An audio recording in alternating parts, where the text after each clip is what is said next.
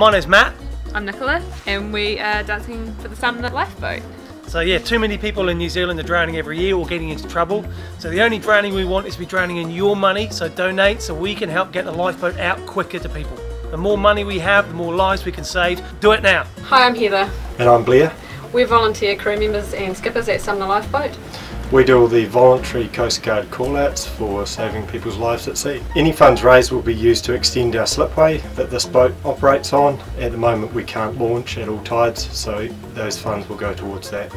Thanks to Nicola and Matt for um, dancing for us at Strictly Sumner. We really appreciate your efforts and really looking forward to seeing the dance. Please go to our Give a Little page and donate a little or a lot. Um, we really appreciate the, the donations and hope you'll give generously. Thank you.